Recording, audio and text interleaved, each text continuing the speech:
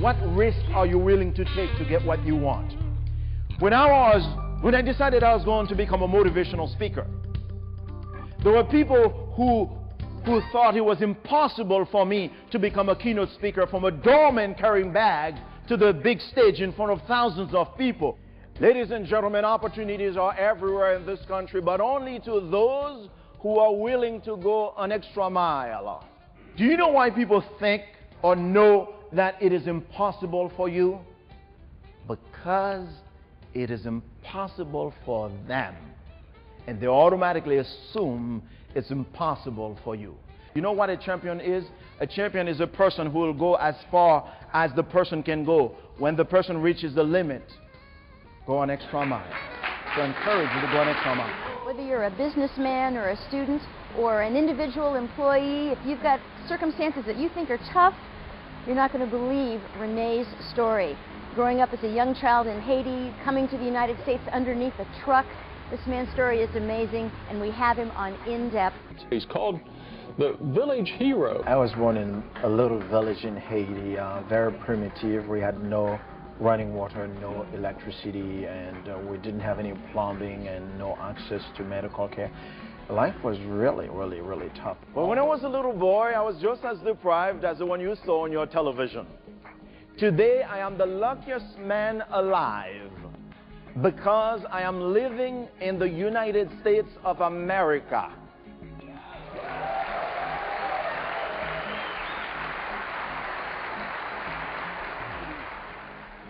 Ladies and gentlemen, opportunities are everywhere in this country, but only to those who are willing to go an extra mile. Now, when you came from Haiti, you came with very little, didn't you, Rene? Very little. Five dollars. Had a tiny suitcase. To this day, I travel across the country with my little suitcase. uh, I have my most precious belonging. It's in it. Is the flag of this country, which, you know, for years before 9/11, I was traveling around showing it to people. Uh, and uh, two shirts and one pair of pants. I came to America in 1983, and I came with $5, two shirts. I didn't speak any English. English was very confusing for me. Believe it or not, the first two words I learned were same thing. And then I, I, I don't believe in reinventing success. I believe in modeling success. You know what I did? I began to use those two words to the max. I would go to McDonald's, at the time, they didn't have number two, number three, no numbers. So I looked at the menu. I'm a Haitian boy. I don't know what's going on. And I couldn't make sense out of the menu. I'd stand right behind the guy in front of me. May I take your order, sir? Guess what I said? Same thing, uh huh. I, I, I got to eat a lot of same thing I didn't like. Ladies and gentlemen, I want, to, I want you to pay real close attention to what I'm about to say. I saw many of you at the hotel. I, I, I greeted, your, I greeted you. I, I, carried your bags, and some of you might remember me. Anybody here remembers me? I remember Oz and a few people. That's right. That I remember seeing at the hotel. I was, you know, just carrying the bags. I had this big smile and this great attitude, but I was not a. I was a doorman with a with a dream. I remember when I met Mr. Mr. Um, Lance Osborne. And I was standing right by the podium. I just finished unloading his bags. And, uh, and uh, I told him, sir, I, I, I'm, I'm a speaker, sir. I want to be a speaker one day. I'm, I'm going to be a motivational speaker. I'm going to travel the country. And he was such a king bee. And when Lance saw me saying this to him, he saw the fire in my eyes, in my belly. And he came, he did something that I shall never forget. He touched me. Ladies and gentlemen, you will never understand the power, the power of a touch. Now, I know there, there is sexual harassment and all kinds of things.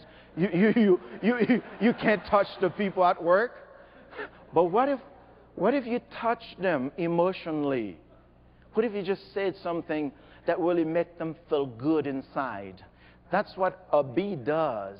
That's what's inspiring others to go. An extra mile is all about. I couldn't wait to go to that audience, to stand on that platform, and to tell them, Good morning again. Because I saw you in my imagination so many times when I was a doorman, I was carrying your bag. You know what Lance told me? he told me that uh, you, you're going to make it. You, you're going to be a speaker. Yes, I believe it. I can see, I can see it in your eyes. And uh, that day he gave me his card. And I took the card. I really believed him. You know, you never know what you tell to somebody in your field as a trainer, as a state sales coordinator, or regional or district. You never know what you might say to somebody, and they will believe you and take the ball and run with it. And I went home and, and I put Mr. Osborne's card next to my desk for 10 years. Every day I look at that card. When I was a doorman, when AFLAC would come to have your big conference, I would wait at 11 o'clock when I get off, when they prepare the room for the speaker. What I used to do, I used to come on stage. I'd rehearse this moment that I'm standing in front of you. That's the power of a dream.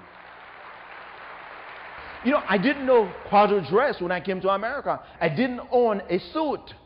But at the door, I began to watch the people how they dress. To this day, I don't know what this little handkerchief, I don't know what it means, but hey, you see? But how did you know which oh. books to read? You know how I learned which books to read? When I was parking your cars and I'd see you have those tapes in the back seat of your car. I was a doorman. I was not a dumb man. I picked up the phone. The voice said, This is Lance L. Osborne. I said, I know, sir. He said, How do you know? I said, I waited for that call for 10 years, sir. I knew one day you would call me. I said, Wait a minute, now let me prove it to you. I said, Your name is J. Lance Osborne. Your title is Regional Sales Coordinator. He said, You are right about my name, but everything else is wrong. How come, sir? He said, Now I'm vice president of the company.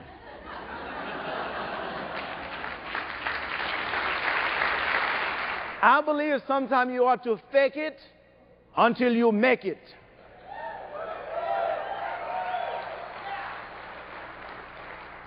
They say you become what you think. And I say you become what you fake. Uh huh. And people say, well, that's unethical. No, it's not unethical. It's even biblical. It says when you pray, believe and act as if you already receive it. Maybe today is the day you begin acting as if you already have it. And then step out with full force. Take a risk. If you get anything out of this, is if this guy can come to America with $5, two shirts, one pair of pants, didn't speak any English. Today he's living the American dream. Ask yourself, what have you been talking yourself out? What is it that you can do and you're not doing what you're supposed to do to do it?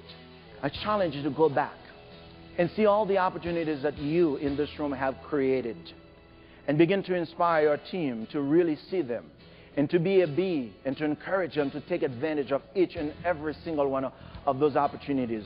There is money. There are a lot of millionaires in this room, and there are a lot more millionaires that are about to be created. Will you be someone from your team? I am glad, ladies and gentlemen, I'm an American.